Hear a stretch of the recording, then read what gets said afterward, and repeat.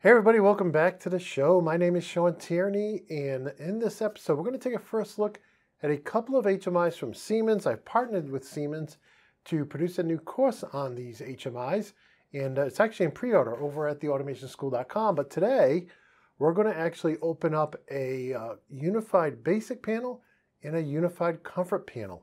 And uh, we just had, I think it was last week, we just had uh, Rami from Siemens on to give us the update on this, the newest product, the basic panel. And uh, let's go ahead and open up that one first. And um, just uh, before we get into that, just a note, I am in Studio B at our physical office. They are still working on uh, a couple of the up, open offices here. We kind of were the first tenant in on this floor. And so if you hear any construction noises, I'll try to pull it out in the post-processing. But if I miss anything, my apologies. And I do want to thank the good folks over at Siemens who sent us in this nice clock, which is great. If there's any other vendors out there, if you're jealous, feel free to contact me about uh, sending us some swag to put up on the wall. We'd love to. Eventually, we want to have all the equipment up there, but we're, we're going to walk before we run. So with that said, let's go ahead and take a look at this. And I got the overhead camera on. And uh, let me zoom in just a little bit here. And let's open this up.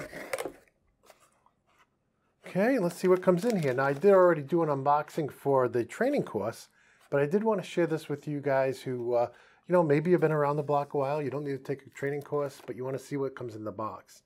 So you can see there's four different models of the Unified Basic, right? 4, 7, 10, and 12. And uh, this is the quick install guide. So from there, we'll go to this uh, CD, DVD, DVD. And uh, Open source software and license conditions. Okay, tell I have not opened that yet. Um, you know, I like to try to go through the, uh, you know, using the HMI and try to get away with not using anything that comes in the box like the DVD. See how far I can get. You know, sometimes you do have to resort to going to those things, but uh, in any case, just to see what you know the average user would see if they didn't use the DVD, I try to try to just use it right out of the box. So in any case, you can see this little accessory kit here. So this has, of course, the power. It has the, uh, the mounting brackets here. You see the screws and the plastic pieces. It also has some strain relief there as well. And we'll see where these go into the uh, unit itself. Okay, so we'll put that one aside. And then we have the unit here. I've already taken it out of the plastic once, but I tried to wrap it back up the way it was. So you can see what it looks like. And on this particular unit, I had already taken this cover off. The reason I put it back on there is because it is very reflective. See the camera up there? So, um, but the screen is not very reflective. It's a matte finish, which is great because, you know, uh, shiny screens look nice, but um, not on the plant floor. You're going to be able to see, and uh, you can see, look at that, it's much different. A lot of that glare is eliminated. So you can see, you will see a slight difference between this model and the next model we look like from the front, especially around the bezel side, right? Otherwise, they look almost identical. Okay. So um, if you're wondering, the camera up there, I have, because this is a drop ceiling, I actually built a frame out of 80-20 um, style, you know, extruded aluminum, T-slot extruded aluminum. And uh, I got that all, cut the, cut the length right from Automation Direct. That's such a money saver. Not having to pay for cuts or having to set up to, to uh, cut it yourself. So we saw the front there. There we can see the sides where it's vented. And uh, now we can take a look at the back here. Let's see if I can get really up close on the label.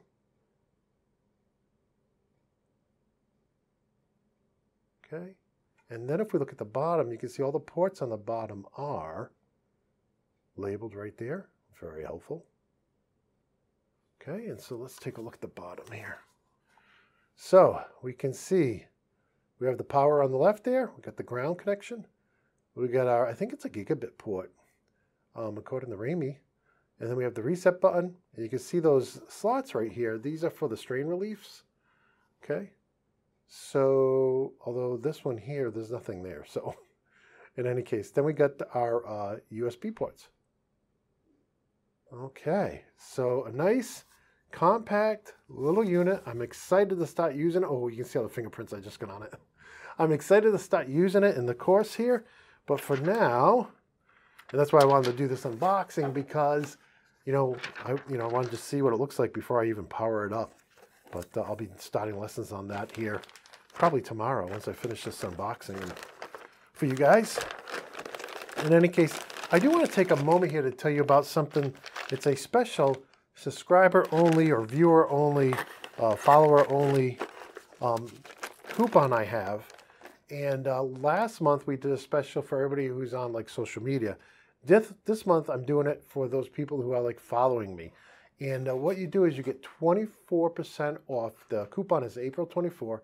You get 24% off any single course, whether it be this pre-order or be my 7 course or be an Allen Bradley course or whatever, as well as 24% off my ebooks over at theautomationblog.com.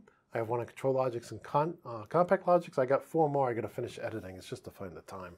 And then um, I have, uh, oh, all the video series. So the Automation Show, the Automation Minute, the collection, the digitals. I can't discount the physical one because we, we don't make much profit already. So if we discounted it, we would make negative profit. But in any case, um, you can find all of those at theautomationblog.com forward slash tab. So that'll show you the video collections and the ebooks. And if you want to um, uh, check out our courses, you just use the same coupon, April 24, and you can use that at the Automation School. So in any case, and that's only good for the month of April, and then that'll be it. It's, it's time consuming to add all those coupons, all those different products. So, um, but yeah, that's the big news I had there for the Automation blog and school um, and that coupon. So in any case, that one side here, you can see the test stand's kind of in disarray. We're still setting up the new the new offices. I hope to do an episode of the Automation Morning Show tomorrow morning. Studio A over there, I'm going to try to come in earlier before the construction guys come in and, uh, do an episode of that. Um, you know, I'm all the equipment. You know, we got trying so many things. You know, we were in the old office for over 10 years, so it was very, uh, you know, we had everything set up. We could just roll it and go. Here, everything's still new, so I'm hoping this audio video is coming out as I speak to you. But in any case, um, so let's open up this guy. Now, this is the Unified Comfort uh, Comfort panel. The previous one was the Unified Basic panel. And, um, you know, I'll go through the part numbers at the end. But in any case, you can see here on top, I have a mounting bracket. And uh, I think this is reinforcement for the strain relief, I believe. Here you can see the um, power connector, and we get three of those plastic strain leaf pieces. That's what I'm calling them. There may be another technical term. You know, with Siemens, a lot of times instead of part number, they call it article number, and they have different naming conventions. A lot of different companies do that, and we, we try to keep track of all of them and, and use all of them interchangeably. But in any case, you can see here, these are the mounting clips. Now, you notice these are metal, right? The other ones were plastic. So very interesting there. And then we have two DVDs. So this looks like, yeah, it's the same one that was in the other one, or it looks like it is anyways. And then this one, Industrial Thin Client. Interesting. And then here we have, now you can see the Unified Comfort, as we've covered many times on the show. And matter of fact, I got to send the big one back to get it upgraded. And um, shame on me for not doing that yet. Sorry, Remy. Um, in any case, you can see here, you get a 7 inch, 10 inch, 12 inch, 15 inch, 19 inch, and 22 inch. Those are rough, rough sizes. The exact sizes are in the uh, in there. And then we have this. This is a multi-language document. I think English is on page three, four. Yeah, here we go. Okay, and this is showing um, product information, important notes on your device. And you can see this one comes with, uh, with or without the Siemens logo on it. So if you're an OEM, you want to take the logo off, maybe put your own on. Um, I believe they will do uh, logos for you too. So um, if you want to have, you know, if you're going to order, I don't know, a thousand of them for a thousand machines, you want to have your logo on the unit. I believe that's an option as well. So take that out. Now we'll see here again. This is not how the how it comes. I took this one off. This, these can be a little hard to get off. But you see how shiny it is? And the only reason I put it back on there is just to show you the shine. Okay. And uh, now you look at the uh, look at the bezel here. This is a lighter, like a almost a uh, a chrome or a silver. The other one was a little darker color, like almost like a greenish. But they both look almost identical from the front. And I do like that anti-glare matte because it just makes it look so much better. Whoops, there's the studio lights. Okay, so let's go ahead. We'll look at the sides here. You can see how much thicker it is, right? A lot more processing power in there. And these clips, and I didn't mention this on the first one, but these clips are to assist you in installing it so you can push it through yourself into the hole and then it'll just stay there just enough so you can get around the back and put the clips on, the mounting clips. So we saw that on the other one too. I didn't call it out. But in any case, let's go ahead and look in the back here. Let me hold it up to the camera and see how close we can get. See all of the details right there. Okay, and now we can look at the bottom. Now here, this is something we didn't have on the other one. You know, if you caught my previous uh, unboxing of the Lodge comfort panel, unified comfort panel, let me get that right. You can see here I got a data and a system SD card slot. Very cool. Okay, and then at the bottom, we'll look at the labeling for the ports. You can see the DC. Now you can see here we get RS-232 245. That's great to have that. And we got three LAN ports, right? Look at that. So maybe one's upstream and the other one's a daisy chain between this and other devices on your network. And then we get four USBs. Look at those USB 3s. So a lot more ports on this guy. It's a lot thicker too because it can do a lot more things. And here we can see for the strain relief. Right there. So yeah, I'm excited to start using these and learning a, a new HMI. And you know what, let's go ahead and put them side by side. You know, before I do that, let's take a look at the actual article numbers on these. So we can see what models exactly I'm looking at. So this particular, here's the model number or article number. And that is a MTP 700 Unified Comfort. Okay, let's look at the other one. There you can see the article number.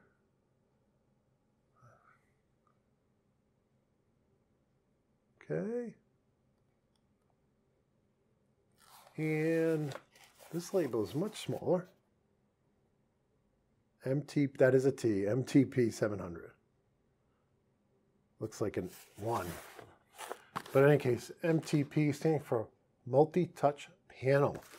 Okay, so they're both multi-touch panels, so they have that same, you know, basic nomenclature. Now, let's go ahead and put them both under the overhead cam. Of course, I've gotten some fingerprints on them, but you can now see the difference in the color of the bezel. Very, very subtle, right? They look almost identical. I mean, they're the same size. But of course, you can see the depth is much different because this guy's much more powerful just from just from an I/O port standpoint, right? And then we'll look at the back here. Let's do it this way. So power, you see so many more ports, but you know, if you're an end user or power user, you probably want the unified comfort. Um, if you're an OEM, you don't need a lot of functions you just want to get a screen on there, then the uh, then the Unified Basic may be for you. And with that, that is our first look at the Siemens Unified Basic panel and Unified Comfort panel, the 7-inch models of both, MTP 700s. And I just can't wait to uh, get these uh, booted up next, uh, well, actually tomorrow, and start uh, filming lessons on them. So in any case, um, if you're interested, you can uh, head over to the Automation School and see what we're doing there. But otherwise, uh, I'm going to include a link to the home pages for each of these products over at the Siemens website. And again, just want to thank Siemens for sending these in. Um, you know, they've been great. We're going to start doing courses, and they sent us some S7 1200s and some more uh, 4 inch versions of these guys. And of course, we want to cover every vendor out there, but uh, Siemens and some other vendors have just been great sending in equipment. So, really uh, look forward to uh, doing that for the next couple of weeks. And uh, I hope you guys are doing well. Again, I'm going to try to do the news tomorrow. So today is Tuesday, the 2nd of April. Tomorrow's Wednesday, so I'll try to do the news tomorrow morning. It'll probably be, you'll probably catch a replay because I'll probably end up starting at around 6.30. But in any case, um, we'll see how it goes. Uh, hopefully this one went well. We got more. We got a whole bunch of stuff queued up to cover you with. Got some IO Link stuff coming up too, which I'm excited about. We had a, a, a vendor sending a bunch of IO Link stuff. So, and we're working with more vendors. We're working with you guys. Probably seen our Arduino coverage coming up. We're meeting with a couple of different Arduino uh, companies who make Arduino products for the industrial realm. So I'm excited to be working on that and just so much. Oh, and if you guys didn't know, we did recently release our uh, PLC application simulator. It's a free PLC simulator and application simulator, a famous widget machine. So if you are a student in one of our PLC courses over at theautomationschool.com, check that out. It's completely free. There's a form you fill in. You got to use the same email that you you log into the account, the, the site with, because we don't want to have to create you a new account just to give you a free piece of software. But it's really fun. I had a great time. And uh, we got following up to that, we're going to be doing a course on the author, the, the person I hired to create that app for us. He has an automation game, so we're going to be uh, showing that off and doing a course on that. And uh, very inexpensive, under $15. And um, we also have, uh, we re remastered our original uh, training course, PLC Basics. Uh, we, we released that at the same price as it was over 10 years ago when, it, when we first did our Kickstarter, $35.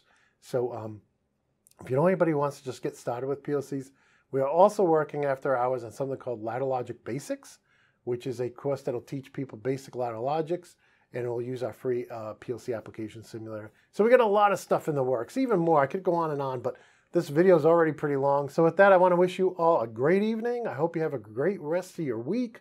And uh, remember, no matter what happens, I want to encourage you to stay courageous and stay fearless. And until next time, my friends, Peace.